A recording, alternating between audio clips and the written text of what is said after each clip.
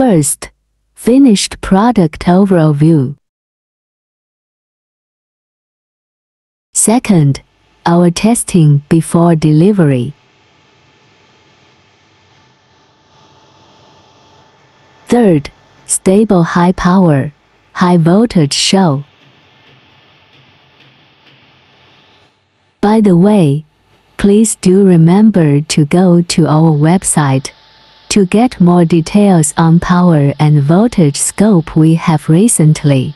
And if what you need are not within our range, please feel free to get back to us.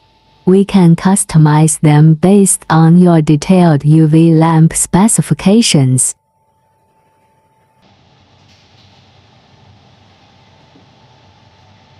Fourth, our testing area. Fifth, our installation area. By the way, please advise detailed UV lamp specifications, like detailed UV lamp input power, detailed UV lamp input voltage, and the cell-phase main power supply used in our production line, so that we can offer you best suitable and power-saving tub for your UV lamps.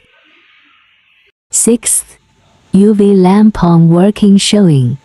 Finally, please kindly subscribe our channel. Welcome back soon. Thanks for watching.